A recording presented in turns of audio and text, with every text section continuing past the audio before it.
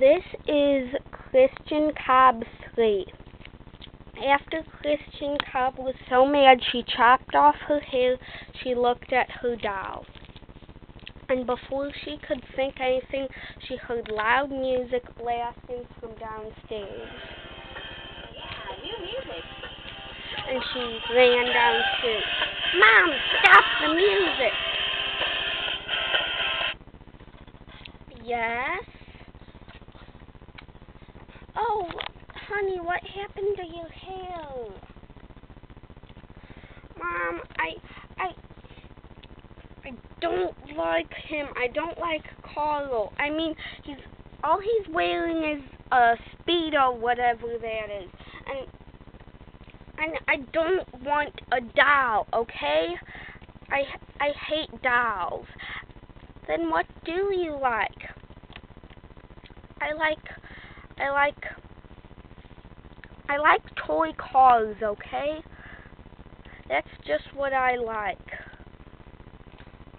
Oh, you never told me that. See, I want you, stupid doll. She threw it out the window. Well, do you want a toy car? Hey, you forgetting about me. Sandy, you forgetting about me. Just leave for now. Leave? Leave? Why don't I just break up with you? Okay, then do it. Fine. But we got rid of him. Now we can concentrate on you. See, my bedroom is all toy cars. Didn't you ever notice that? And I want a skateboarding ramp or something at least.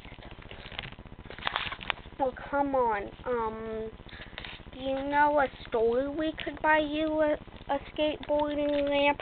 I think I do. And so they went to the toy store. She looked in the window every day. And she said, I want the purple one and her mom went in and she came out and when she came out she had bought it for her. Here you go. Thank you, Mom. Thank you.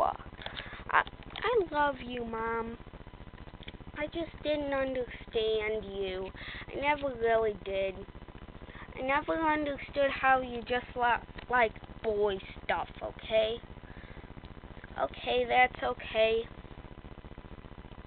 And so, if you want to see um, Kristian Kobb number four, um, even though this is pretty much an ending, you can see her do some cool skateboarding boarding tricks in number four, okay?